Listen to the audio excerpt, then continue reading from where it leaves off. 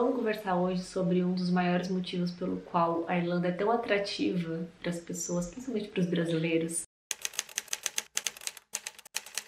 Uma das maiores razões pela qual os brasileiros querem tanto ir morar na Irlanda é por conta do poder de compra que a gente tem lá. O salário da Irlanda ele é um dos maiores da Europa e quando a gente faz esse cálculo para saber né, do poder de compra, a gente não tem que fazer a conversão, que é o que a gente faz de errado quando chega lá. Todo mundo faz isso. Chega lá convertendo, né, para saber quanto que você está gastando em real, quanto você está gastando em euro. E é normal porque quando a gente está levando dinheiro para lá, a gente juntou o dinheirinho suado em real para gastar na Europa e, né, vai valer muito menos o nosso dinheiro.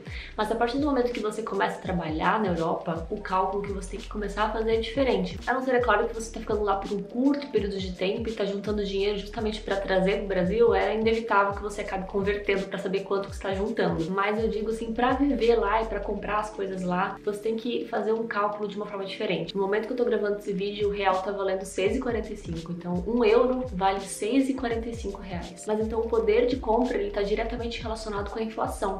A conta que a gente precisa fazer fazer quando a gente está morando lá na Europa, na Irlanda, é quanto tempo que eu preciso trabalhar para poder comprar, gastar, realizar, fazer. E aí você compara com quanto tempo você precisaria trabalhar aqui no Brasil para fazer talvez as mesmas coisas. Então vamos supor aí que você trabalha full time, você trabalha período integral em ambos os países, né? Porque aqui no Brasil é normal a gente trabalhar 40 horas semanais, que é o período comercial, né? Um horário mais comum para a maioria das pessoas, porque part-time geralmente, né? Meio período só trabalha estagiário aqui no Brasil.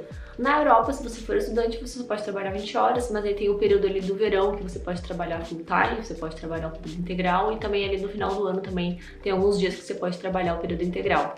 Mas também muita gente não trabalha só 20 horas, já falei pra vocês sobre isso. A questão é, de igual para igual, trabalhando 40 horas no Brasil e trabalhando 40 horas na Irlanda, trabalhando o período integral em ambos os lugares. Vamos fazer essa comparação? Vou pegar dois aspectos aqui pra gente comparar, que seria uma compra de um produto que é super conhecido, que muita gente quer, enfim, que é o iPhone.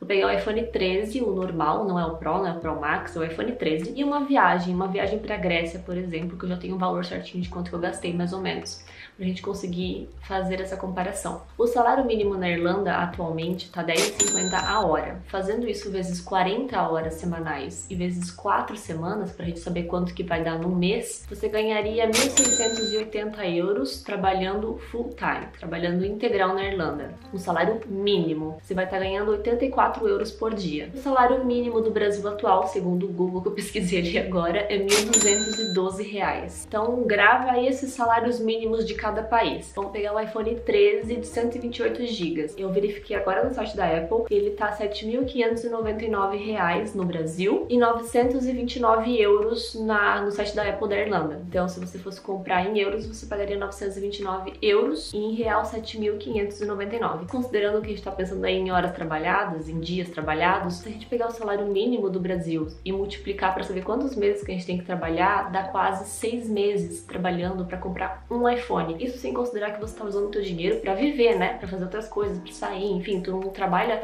e consegue guardar todo o dinheiro que você trabalhou no mês. Eu tô considerando aí que você está guardando todo o dinheiro, 100%, que o custo de vida ele é muito variável, né? Cada um tem um custo de vida, cada um tem uma realidade. Mas aí você pode fazer essa conta aí considerando quanto que você consegue guardar por mês. Mas aí considerando então o salário mínimo do Brasil, que é 1.212 reais, você tem que trabalhar mais de seis meses para conseguir comprar um iPhone. Acho que eu falei quase, mas é mais de seis meses, é um pouquinho mais de seis meses. Já na Irlanda, se você for comprar um iPhone, que é 929 euros, considerando o salário por dia, que é 84 euros, você tem que trabalhar 12 dias para comprar um iPhone.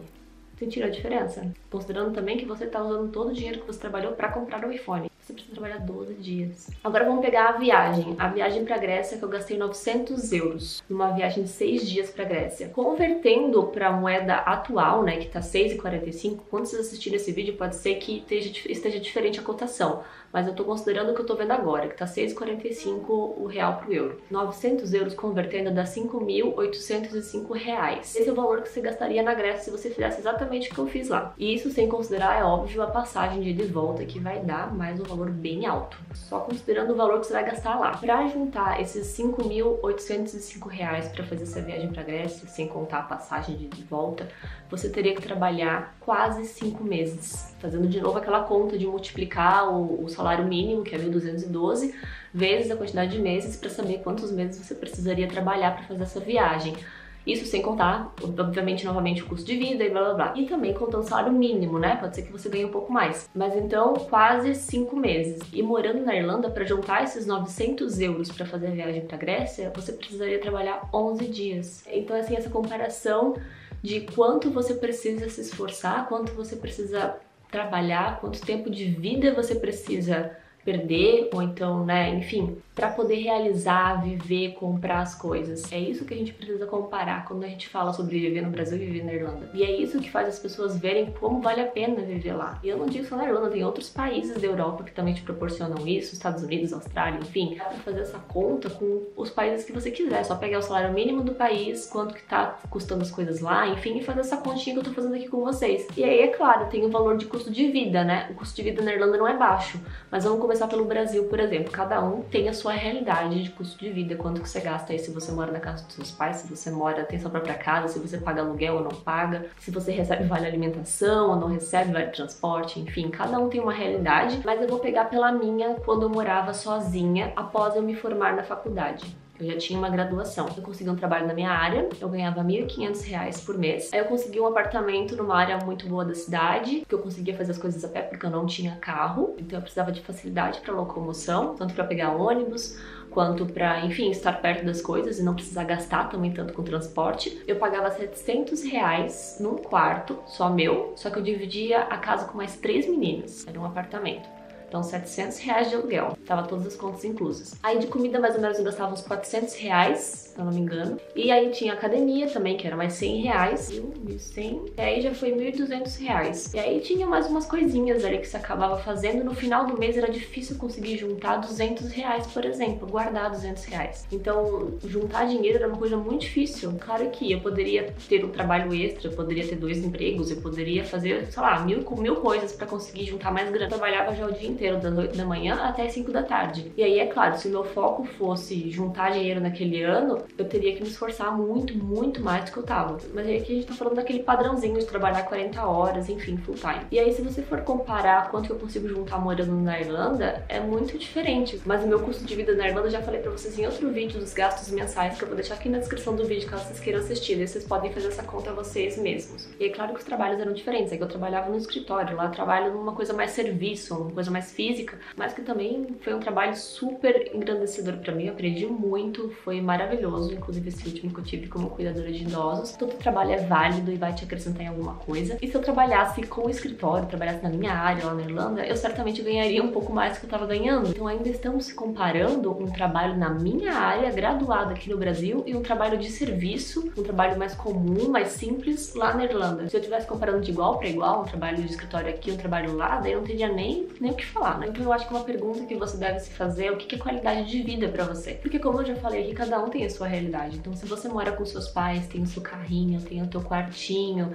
enfim, tem a tua privacidade na sua casa, tem todo o conforto do mundo, trabalha em casa ou trabalha nesse período aí só de segunda a sexta, no período comercial, depois vai para casa, faz suas coisas, sabe? Tem esse conforto, não tem que ter uma vida louca, corrida. Se isso é qualidade de vida para você, mesmo não ganhando muito, não conseguindo realizar muito, perdendo muito dinheiro, enfim, então talvez você não veja essa vida no exterior como uma boa opção, mas se qualidade de vida para você for viver mais, poder realizar mais, comprar mais, viajar mais, enfim, viver realmente, trabalhar para viver e não viver para trabalhar, talvez a vida no exterior seja mais atrativa. Sabe, decidir comprar alguma coisa, trabalhar ali poucas semanas e comprar o que você quiser, decidir realizar alguma coisa e em pouco tempo conseguir concretizar o que você queria, ir no mercado e conseguir comprar a quantidade de coisa que você quiser, ir embora feliz, se alimentar muito bem, ficar se regrando ali tudo que você compra, tudo que você faz, conseguir ir num restaurante chique de vez em quando, realmente não se assustar com o preço de tudo que foi uma das coisas que mais me apavoraram quando eu cheguei aqui no Brasil, já no aeroporto, foi assim um baque de susto, porque no aeroporto as coisas geralmente são mais caras, mas você chega aqui no Brasil e você vê